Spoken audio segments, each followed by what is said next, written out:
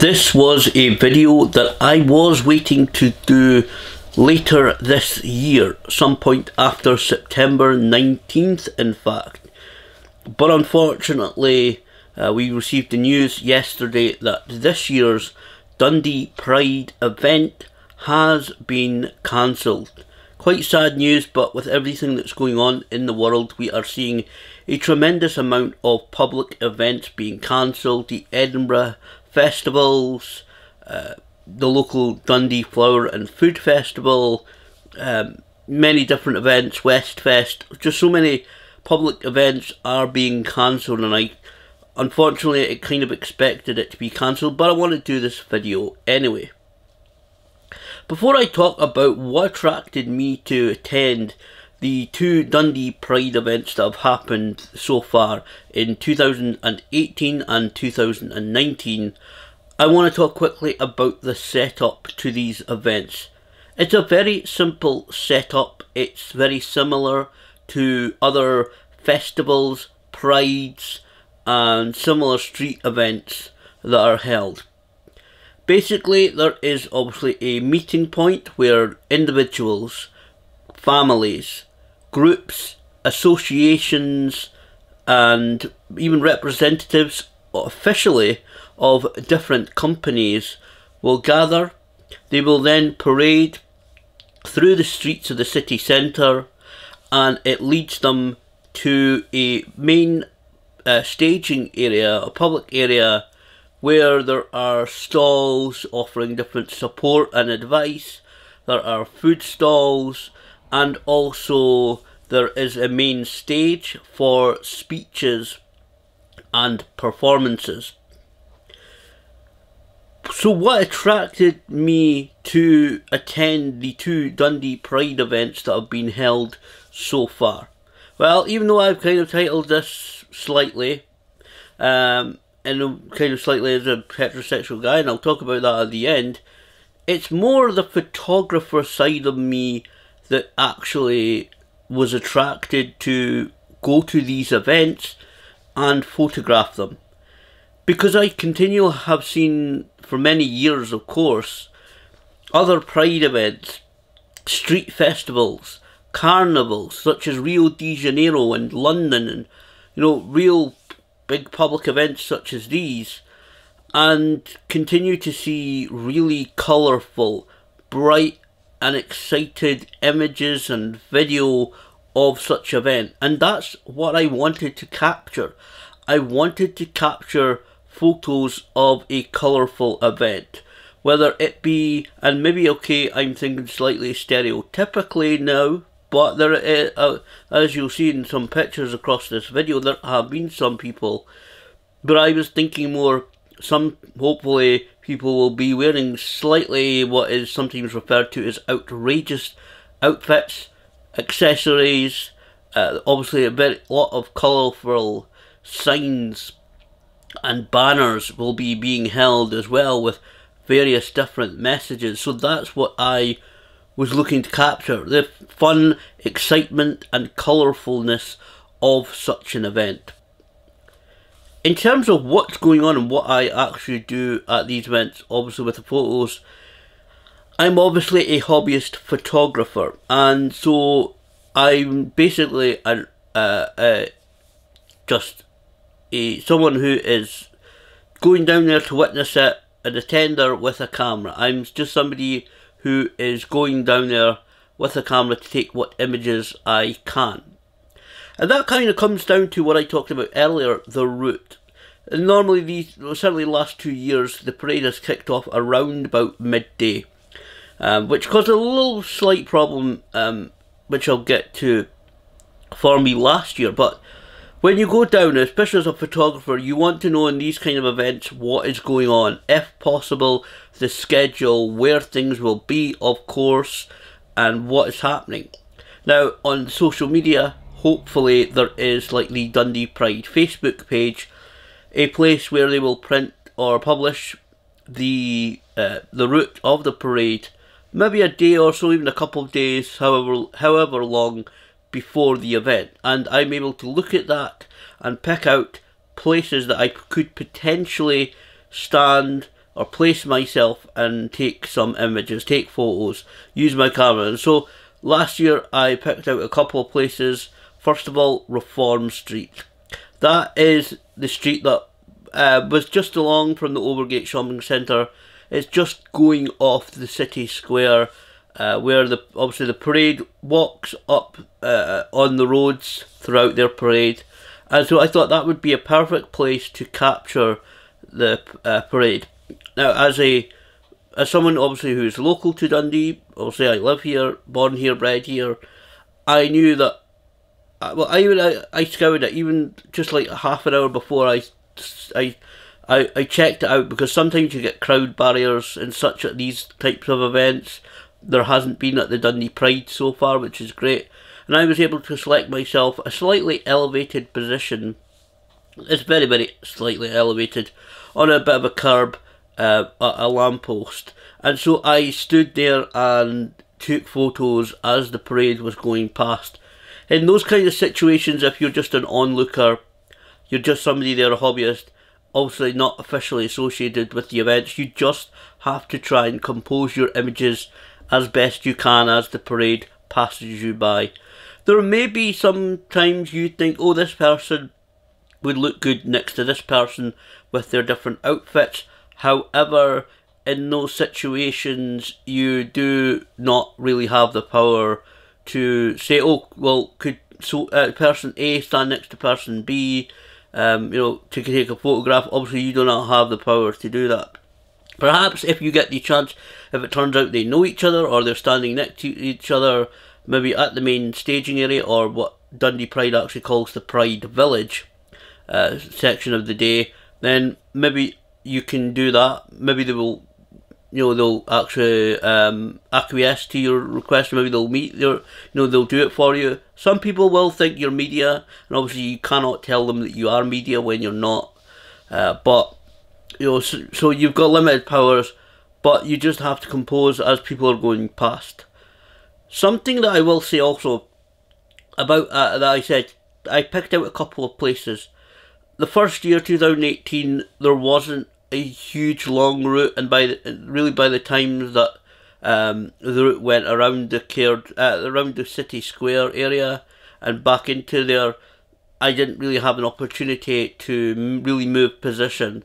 Uh, but last year I did because it was a slightly elongated route, like I said, up Reform Street, past the McManus Galleries, down the streets there to Castle Street, and across to Slessor Gardens, which is actually where this uh, Pride Village was. And so I was able to move to Castle Street and actually move to the other side of the street as well.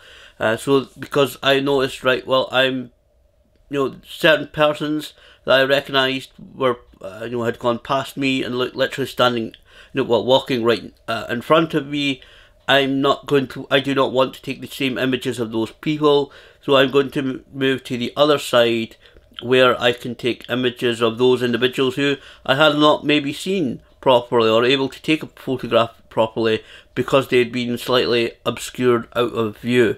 And so that's what I did. I went down to Castle Street, moved to the other side of the street, and uh, I did take some images there because thankfully they were letting some traffic flow then stopping some traffic to allow more uh, revellers to cross into Slessor Gardens area and then letting some more traffic flow again. So there was a little bit of pausing down Castle Street and of the parade. So that allowed me to have the opportunity to take some more images of them at standstill, which is sometimes quite helpful. What I will talk about quickly before I talk about the main staging area and the performances and then start to wrap this up. There may be people who are shy of your camera. Again, as I said, you really cannot claim that you're media when you're not. And on, uh, I, I would certainly advise against that. A lot of people will um, think you're media, uh, but some people will just see you as somebody with a camera. And last year, there was at least about four people wandering about with a camera, myself included. I know one individual, one gentleman, was indeed officially with the Pride Festival because he was in front of us in the kind of um, I don't know what you call it, but the in, the, in front of the crowd barrier, in front of the stage, that kind of press pit kind of suppose, I suppose, um, where uh, where when the performances were on, and I saw a couple other people wondering about the camera. Um, now some people may actually kind of hide away from your camera, and obviously, especially if you have that like I did last year with a couple of people, certainly one individual they very much shied away from my camera immediately as, soon as they saw it, and I immediately got the understanding they don't want their picture taken. Okay, and I move on, looked at other things, you know, move my camera around away from them, away from them in my view at least. You just got to understand that. Some people, however, will play up to the camera, whether they think you're media or not. Some people will actually um, smile for the camera, wave for the camera, pose even. The one lady who certainly was playing, very much playing up for the camera last year.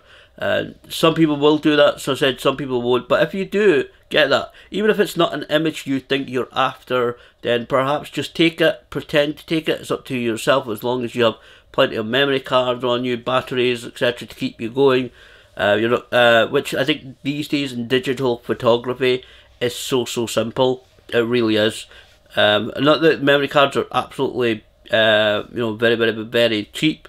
You can get very cheap ones, which claim to have large storage. Uh, I might check one out in the future, but uh, you uh, you can pretend take the image or take the image that if you want, and then look at it later. You know, and once you go into editing mode, then you can either look at it and think, "Yep, I don't want it," and delete it, or uh, just once you start editing it, you may actually like that image. But again, you may you'll get some people shy away from your camera.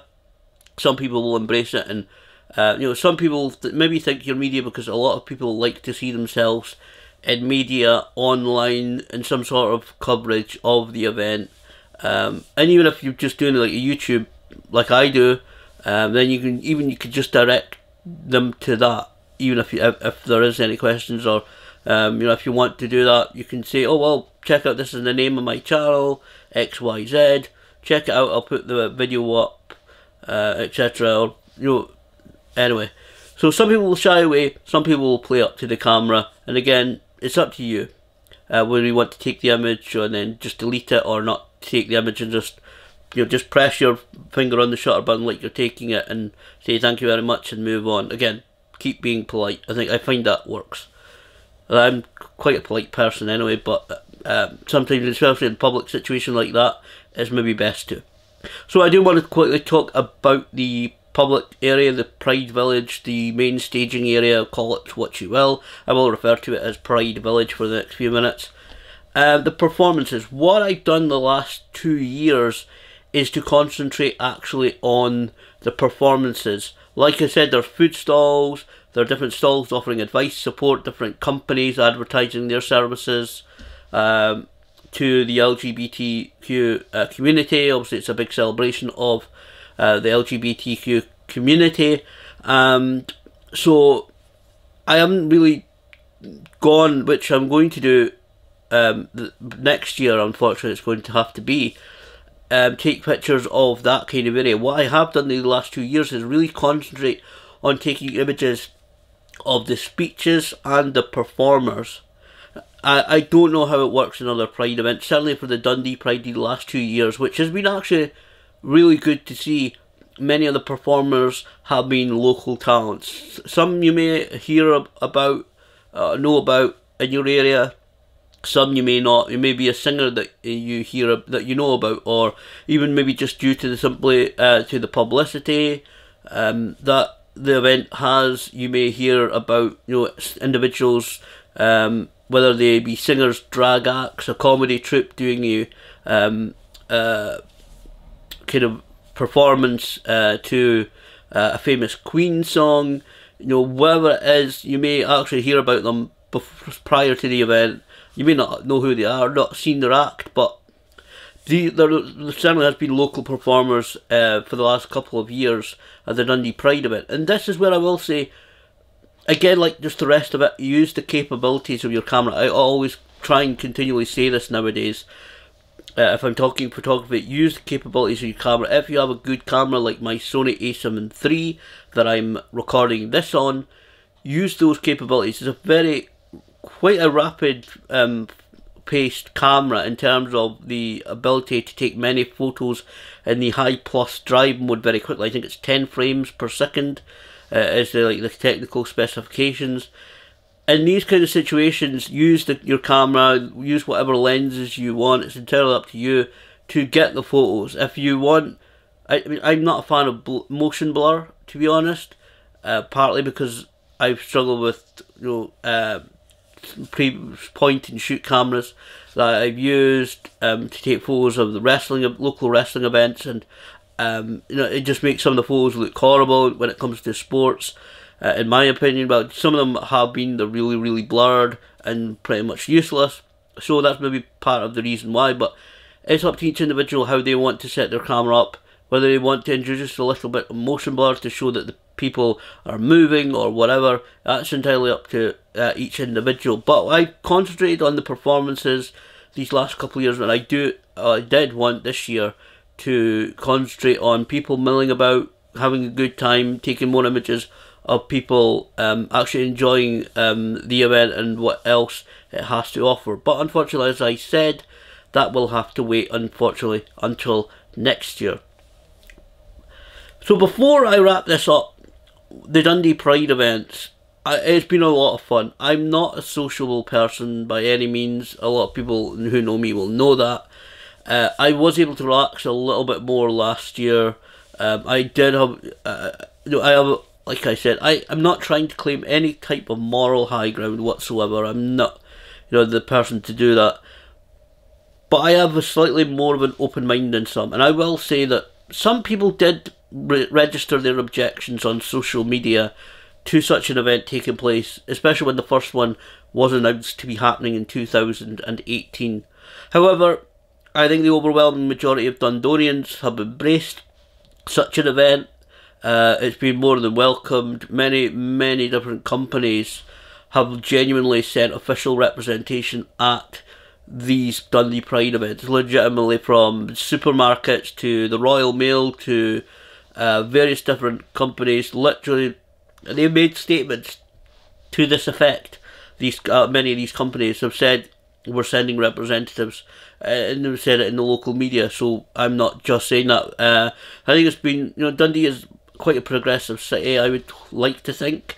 Anyway, um, and I and there's never been really any trouble either. It's you know, the atmosphere of this um, the Dundee Pride. It's been fun. People have been there to enjoy themselves and have a good time, um, which has been really really good to see. That is the kind of atmosphere you want. People there, um, and you know, to genuinely have a good time and enjoy themselves in a good in, in a. And I'm sure I believe there is you know, like alcohol being, I think alcohol being served at these type of events, but generally, um, don't quote me on that because I'm not entirely sure. Because obviously I do not drink myself, so I didn't seek it out. But uh, certainly a lot of water was being provided, water bottles, etc. And it's one of the stalls that was uh, on uh, last year. But uh, you know, people were there to enjoy themselves and have fun. Uh, and that so it looked like a good atmosphere. I never ever saw any reports of any trouble before anybody, uh, you know, says anything like that. No reports at all that I heard or saw in the local media about any trouble. So people would seem to be there deliberately to enjoy themselves. I unfortunately wasn't able to stay for the entire uh, afternoon of uh, performances both years, unfortunately just the way it fell uh, that something I had something on those both those days, which was slightly frustrating. Um, uh, it was one. Uh, certainly, I think it was both family things uh, that I had to come back for, but. Uh, certainly, it, I enjoyed going down. Like I said, I'm more of an open mind than some people, but I really enjoyed it. Again, not social butterfly by any means, but I was able to relax, enjoy the performances, the some of the comedy, the drag acts, the singers, uh, of course some of the speeches. I won't go into the speeches, but just local dignitaries, um, you know, making speeches, representatives, um, obviously with the positive messages, which are good to see. And it was really a quite a welcoming atmosphere.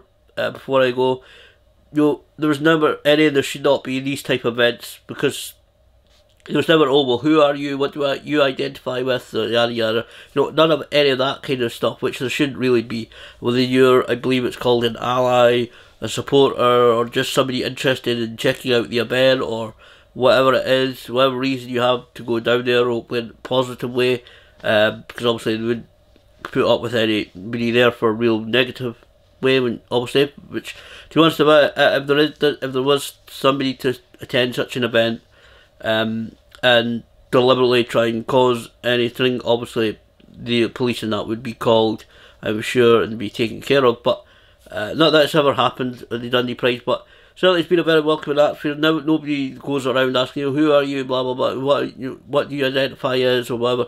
I mean, seemingly from what I've witnessed, again, not speaking to many people, do concentrate on the photography. Um, it's been certainly been a very welcoming atmosphere, and as, as I said, people uh, seem intent in being there um, as a celebration of the LGBTQ community and have fun and have a good time. So I've actually enjoyed these last two Dundee Pride events. Yeah, I am disappointed, as I said, that you know these that this year's has been cancelled. Um, it's such a shame. I was hoping, like I said, to vary the photography because if these kind of events, uh, should said, these kind of events have a similar or same kind of setup, you need to vary your photography. Otherwise, you start coming away with very similar images year on year, and that's what I was kind of hoping to avoid this year. So it's a great shame that this uh, event has been cancelled for this year. Hopefully, we will see a very successful Dundee Pride 2021 uh, when all of this stuff is over, uh, when we can get back to normalcy and uh, they, I'm sure they'll put on a good event. So I really enjoyed the Dundee Pride events. Glad that such events, public events, are happening in Dundee, not just for the photography side of it, but obviously for all the social kind of stuff about it. But I've enjoyed Dundee Pride. Sad that it's not happening this year, but hopefully it'll be a very successful event next year.